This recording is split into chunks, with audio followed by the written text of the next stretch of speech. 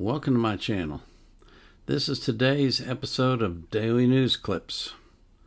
But before I get to that, I do want to thank you for coming to my channel and supporting me.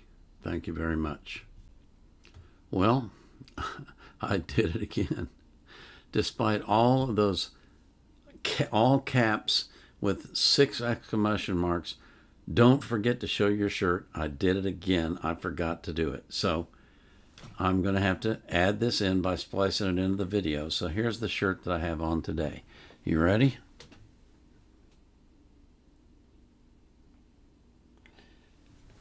My wife gave me this shirt for our 50th wedding anniversary, and now when I wear it, she says, That's no longer true, you know. She's so sweet.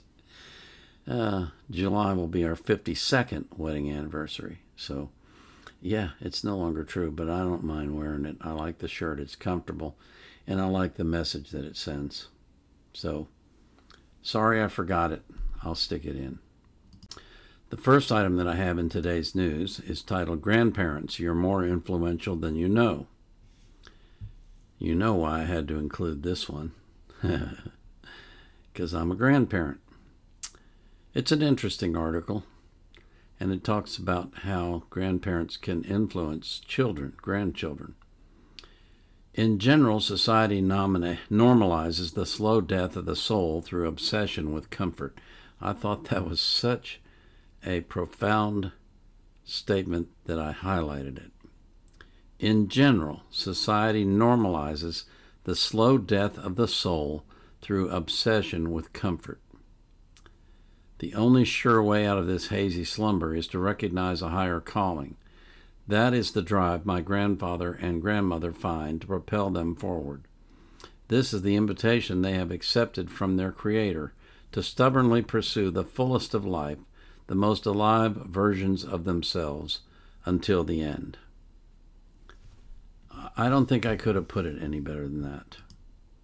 Just because you're old and just because you're retired doesn't mean that you have to check out. You can still be fully involved in life, as I am. And uh, I do a lot of things that I don't talk about on my channel. Uh, I've alluded to them sometimes, and, and of course, recently I had a interruption in my channel because of the work that I do on servers on the internet. But had it not been for that interruption, you might not ever know I was doing that because I just don't talk about it.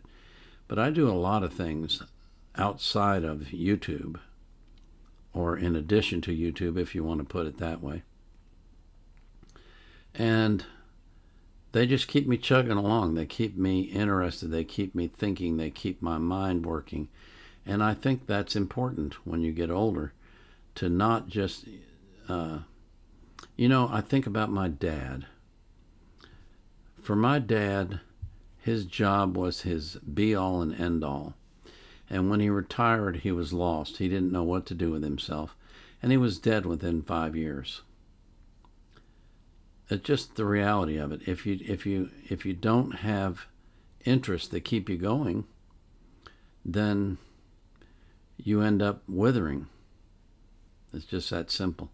So if you have elderly people in your life, involve, get involved with them. Call them on the phone, talk to them, FaceTime with them. Zoom call them, you know, check on them, see how they're doing. Ask if there's anything you can do to help and ask them what they're doing to be involved in life. The second article I have is titled Stop Telling Police They're Oppressors and Criminals, They're Victims. Well, I have to confess I've never really thought of police as victims. But this is an interesting story, and I thought I'd bring it to you. Uh, a protest outside of a synagogue in Los Angeles yesterday turned violent. The governor of California and the mayor of Los Angeles rightly condemned the violence, and we don't yet know why the police couldn't prevent the mayhem. What's clear is that our elected leaders have utterly failed to keep people in the wealthiest state in America safe from crime and violence. Consider that just a few hours earlier, criminals took over the Bay Bridge between Oakland and San Francisco to spin donuts and launch fireworks in what is known as a, sli- a sideshow. These sideshows have become common in Oakland in recent years. That's because nothing is done about it. You know, human beings are human beings. If there's no consequences to their behavior, they're going to do whatever they want. And in some cases, whatever they want is going to be abusive, it's going to be illegal, it's going to be harmful to other people. But if nobody's going to stop them, if there's not going to be any consequences at all for their actions, why would they change? Experts, Governor Gavin Newsom, and the mainstream news media say there's been no increase in crime and that crime levels are lower in California than in other states. But that's a lie. One out of four people in San Francisco surveyed say they were a victim of crime last year. 42% say they were victimized more than once. And half of all crime victims say they don't bother reporting it, mainly because they don't think the police or the district attorney will do anything about it. And let's face it, they've said they won't do anything about it. So, that's not an unrealistic expectation on the part of crime victims, but it's a sad state of affairs for society. And you have to wonder where is this all leading? At some point, at some point, it's going to get bad enough that people will take the law into their own hands. My third article today is Blaze News investigates Biden's illegal immigration crisis pushes nation's only right to shelter state to its breaking point. I was not even aware of this. Massachusetts' right to shelter law, passed in 1983, requires the state to provide housing to all pregnant women and families with children. Wow, that's. the state's shelter system considers children to be those under 21 years of old. The law demands that the shelter accommodations include refrigeration and basic cooking facilities. In some overflow temporary emergency shelter locations that lack such amenities, taxpayers are dishing out more funds to pay vendors to deliver food to the illegal immigrants, a WBZ February report revealed. The news outlet's investigation discovered that Massachusetts taxpayers are spending roughly $64 per day to feed each illegal immigrant.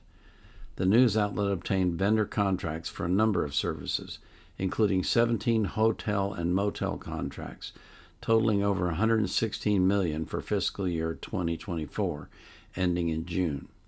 Some of the hotels have also been contracted to provide three meals per day, WBZ reported. The state's Democratic leaders have asked the Biden administration to send more federal aid to keep up with the influx, influx of illegal aliens, but local politicians remain resistant to the idea of reforming the right to shelter law or the state's sanctuary policies. Now, see, this state, Massachusetts, made a conscious decision that they were going to pay for any woman who was pregnant or any person who had a child for their housing and their food. That they made that decision, okay? And they also made a decision to be a sanctuary state for illegal aliens. Now, when they made these decisions, they never thought it was going to come to this. They never thought they would get to the point where they would just be totally exhausted on funds. But now that they are, what's their answer? They don't want to reform the policy. They want the rest of the country to pay for it. Does that make any sense to you? Vaughn told Blaze News that the funds used to pay for the hotels that were converted into shelters were taken from a rainy day fund. It's not going to be renewed. It's not clear where they're going to get the money for 2025. Well, it isn't the job of the entire country to pay for a policy that Massachusetts consciously enacted on their own and knowing full well what the consequences were of it but not realizing the impact that a massive influx of illegal aliens would have on their policy. So now the piper has come home and they have to pay. And so they want us to pay. It's ridiculous. And finally, four years of Anthony Fauci lies. From 2020 to the present, Dr. Fauci displayed a shocking disregard for the truth. And this is a lengthy article I'm just going to read you a little bit towards the end. Uh, I've, I've talked about Fauci many times. I think he should be in jail. I think he's responsible for the deaths of millions of people. He, he, he should, maybe even he deserves the death penalty, in my opinion. Though Fauci is no longer in the political spotlight, Congress continues to showcase his lies, demonstrating how Americans were continuously fed false and misleading information during the pandemic. As the director of the NIAID, Fauci's guidance was instrumental in shaping public health policies and responses. Education leaders, public health officials, and lawmakers all took guidance from Fauci and the NIH, NIAID's parent organization, decisions, influencing decisions of major institutions across the country. This is the reason why I say Fauci is responsible for this, and he should he should be tried. And in my opinion, if he were, he would be convicted and sentenced to prison for his crimes. But the way things work in our country now, the likelihood of that is very low. Very, very low.